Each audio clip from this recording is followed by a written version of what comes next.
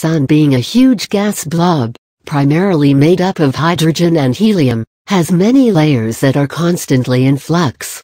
This article is an introduction to the solar interior, from the core to the chromosphere and the solar winds.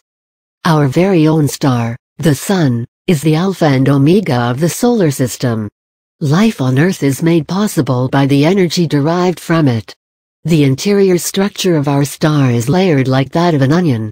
In this article, I present a tour of the solar interior, beginning from the hot core, which is the source of its phenomenal power towards the corona, ultimately reaching the solar wind.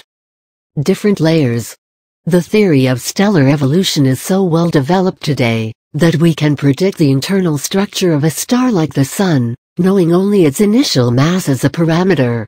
The solar layers show a thermal gradient, with the temperature being highest at the core and progressively decreasing, as we move out towards the exterior. Solar mass is entirely gaseous and mostly composed of hydrogen and helium. An actual image of the Sun by SOHO, credit, NASA. Solar core The solar core is the innermost of all layers, with a temperature of around 15 million Kelvin. The density of the core is about 160 grams slash centimeters 3, which is 10 times that of a block of lead, which is supposed to be one of the densest objects on Earth. Not surprisingly, 40% of the Sun's mass is contained within the core, though it occupies only 10% of its volume. At such high temperatures and high densities, the hydrogen nuclei don't bounce off when they hit each other but fuse together to form helium. This is the process of nuclear fusion, which is responsible for the phenomenal energy output of the Sun. A fraction of the fused mass is converted into energy, Fusion reactions release very high-energy gamma rays and neutrinos that start their journey from the inner core and make their way towards the photosphere.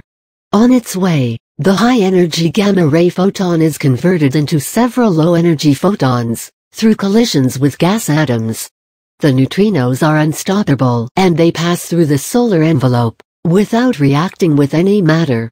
Radiative envelope The next layer, outside the core, is the radiative layer or the convection zone. Temperature here is around 4 million Kelvin, which means that fusion reactions cannot occur here. The density also drops significantly and the rest of the 60% of solar mass is contained in the 90% volume of the outer solar envelope. Relatively more opaque, the solar envelope transfers heat slowly towards the outer layers, through convection, due to the temperature gradient across it.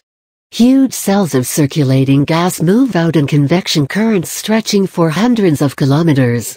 That is why, this envelope is called the convection zone. Convection cells of circulating hot gas are created, which increase in number towards the outer layers. Photosphere at the end of the convection zone, is the photosphere, which is the surface of the Sun. Only a few hundred kilometers in thickness, this is the outermost and only visible layer of the Sun. Compared to the inner layers, this is also the coolest. This is the layer, from which the low-energy photons that constitute sunrays are emitted. Its composition can be studied by analyzing the emission spectrum of the Sun. The photosphere consists of some low-temperature or cooler spots, that are called sunspots. They are created due to the dynamics of the solar magnetic field. They intensify periodically, in an 11-year cycle. Chromosphere outside the photosphere, is one of the thinnest layers, called the chromosphere. It is primarily composed of hydrogen, which gives it a red color, that is observed during solar eclipse. Its temperature is higher than the photosphere, at 7000 Kelvin. Corona after the chromosphere, is the corona. It surrounds the chromosphere and is the rarest of all the layers. Surprisingly, this layer has a temperature ranging from 1 million to 3 million Kelvin. The source of coronal heating is still a mystery. There is a conjecture that the corona is heated by the effect of the magnetic field, but it remains to be validated. The corona is witness to high-energy outbursts of energy called solar flares, which stretch for distances greater than many Earth radii and last for many hours. Their temperatures have been recorded to be close to 11 million kelvins. In the image above, you can see a large solar flare, photographed by NASA's SOHO spacecraft.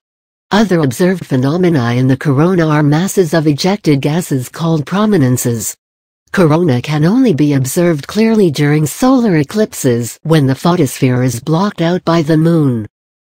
Solar winds outside the corona, the solar gas stretches out in the form of solar wind, which are high-energy particles like protons and electrons that are ejected from the Sun and travel to the edge of the solar system and beyond.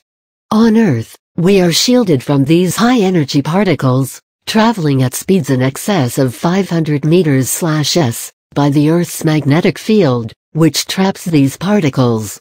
The point at which the reach of solar wind ends is called the heliopause. This point is not exactly known, as it extends far beyond the farthest frontiers of our solar system. To think of it, despite its gigantic size and overwhelming energy output, Sun is only an average dwarf star, compared to other stars in our galaxy. The single parameter that dictates the energy output and internal structure of a star is its initial mass. Massive stars have short but very eventful lives, while low-mass stars like our Sun have a comparatively uneventful life and last longer. They act as centers of planetary systems and sustain life that may eventually develop on blue dots like our Earth.